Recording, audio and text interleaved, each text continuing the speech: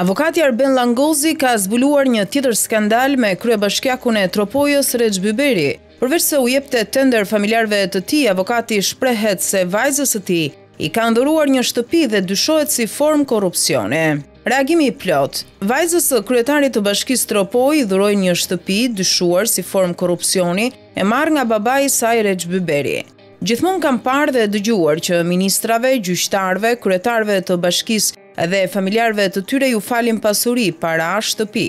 Nuk kam parë dhe dëgjuar që ndonjë aktori apo ndonjë punonjësi të thjeshtë t'u falet ndonjë shtëpi apo pasuri. Rasti në fjalë ka të bëjë me vajzën e kryetarit të bashkisë Tropojë, të cilës i kanë dhuruar shtëpi në kohën kur babai i saj ushtron detyrën e kryetarit. Si e mendoni, është dhuratë apo shtëpi e dyshuar si formë korrupsioni e marrë nga babai i saj Rexh Byberi? pyet avokati.